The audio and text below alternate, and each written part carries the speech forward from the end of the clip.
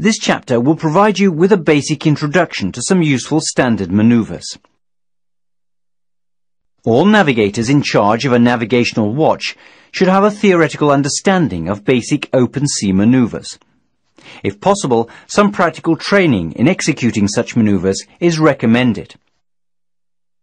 Examples of open sea maneuvers are taking a pilot on board, man overboard maneuvers,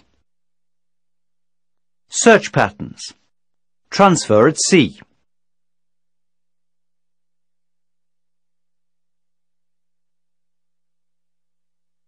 It is the responsibility of the master to ensure that the pilot can board the ship safely.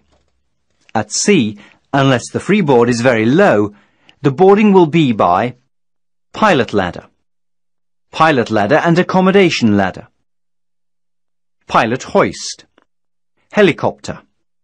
Regulations for all of these methods are internationally agreed upon by conventions and instructions. Reference IMO Resolution A889-21. Pilot Transfer Arrangement. Move your mouse over the pilot card to zoom in.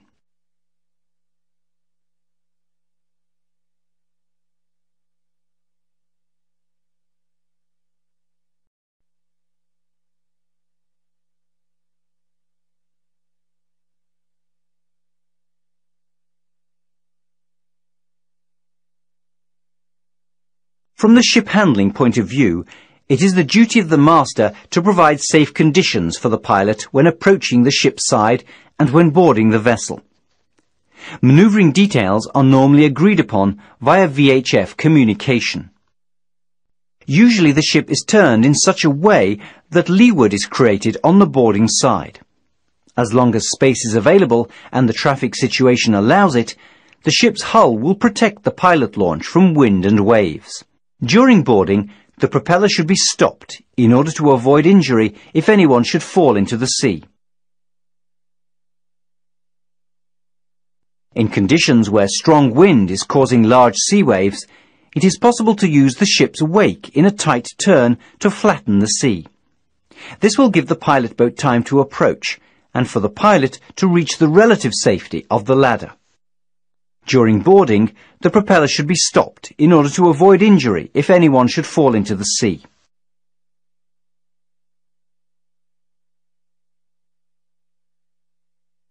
Several ports around the world offer pilot service by helicopter.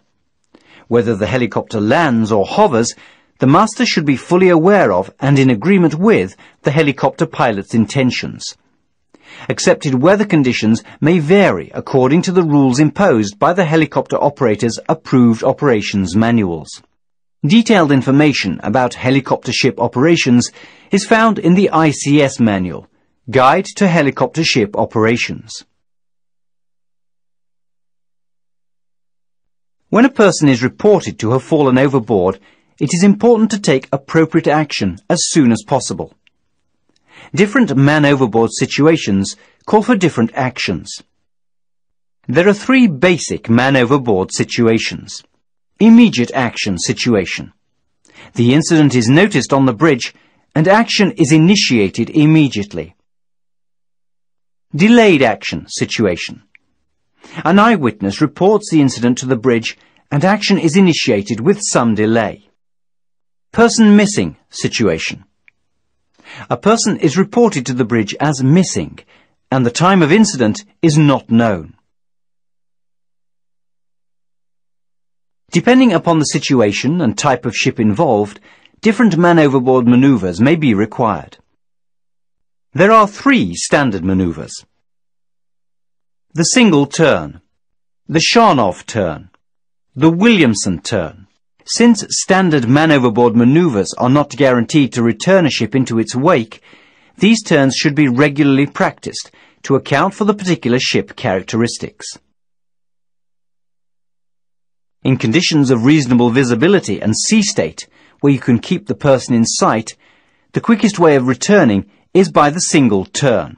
Rudder hard over, in an immediate action situation, only to the side of the casualty. After deviation from the original course by 250 degrees, rudder to midship position, and stopping maneuver to be initiated.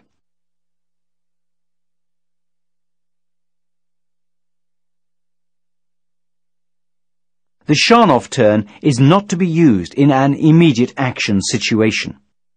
Put the rudder over hard. If in response to a man overboard, put the rudder toward the person. For example, if the person fell over the starboard side, put the rudder over full to starboard. Vessel starts to respond.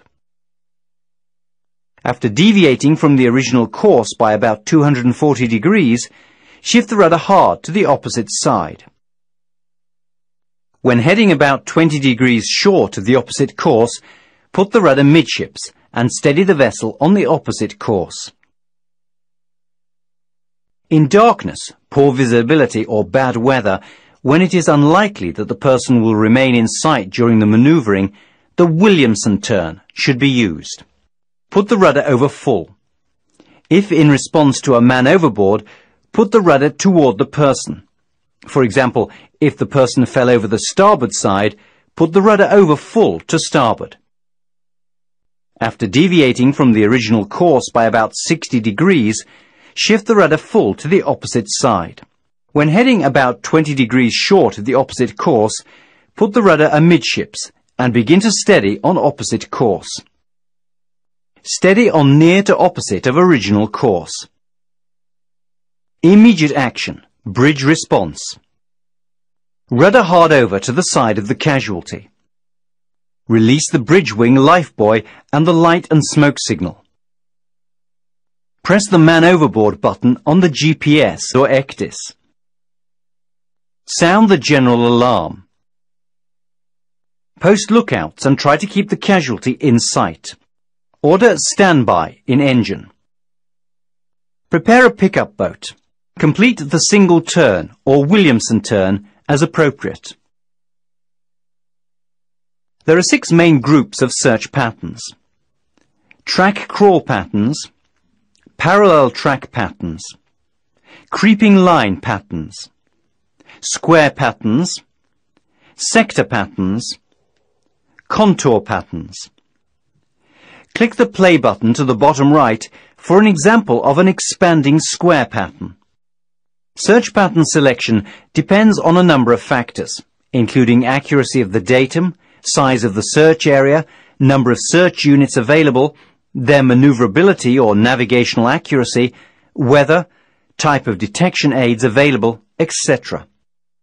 SOLAS Chapter 5, Safety of Navigation, requires ships to carry an up-to-date copy of Volume 3 of the International Aeronautical and Maritime Search and Rescue Manual.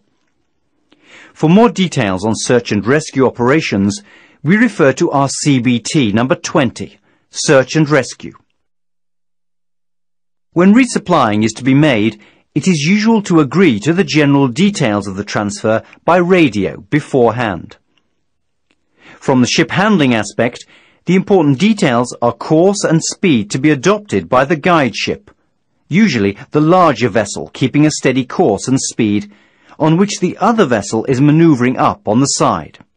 The speed should be such that both vessels have full control of their maneuvering capabilities and special attention must be given to the possibility of negative pressure areas around the ship hulls, which may make the ship uncontrollable.